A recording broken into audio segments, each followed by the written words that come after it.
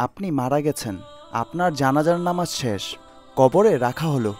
আপনি অপেক্ষা করতেছেন মুনকারনাকির ফেরেস্তার জন্য। কিন্তু তারা আসছে না কেন? অথচ জান্নাতের সুগ্রাণ পাওয়া শুরু করেছেন আপনি। একটু পরেই কবরের সাথে জান্নাতের একটি সুড়ঙ্গ পথ তৈরি হয়ে গেল। ওমা, এ কেমন কথা? প্রশ্ন উত্তর কই? তখন আপনার মনে পড়ল প্রতি রাতে সুরা মুলুক পাঠ করলে কবরের প্রশ্ন উত্তরের ঝামেলা নাই। কবরের আজাবেরও কোনো চান্স নাই। অতপর রেশমি চাদরের নরম বিছানায় গা এলিয়ে দিয়ে আপনি বললেন, আলহামদুলিল্লাহ। হাদিসখানা এসেছে তিরমিজি দুই হাজার আটশোশো নব্বই এর সহি অংশ থেকে। আল্লাহ আমাদের সবাইকে প্রতি রাতে সুরা মূলক পাঠ করার তৌফিক দান করুন, আমিন।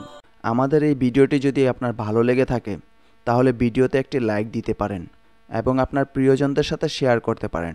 এবং এইরকম আরও ভিডিও পেতে আমাদের ইউটিউব চ্যানেলটি সাবস্ক্রাইব করে পাশে থাকা বেল আইকনটি অন করে দিন।